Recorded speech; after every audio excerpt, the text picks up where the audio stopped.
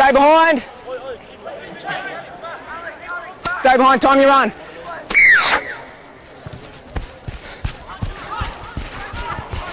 Use your arms.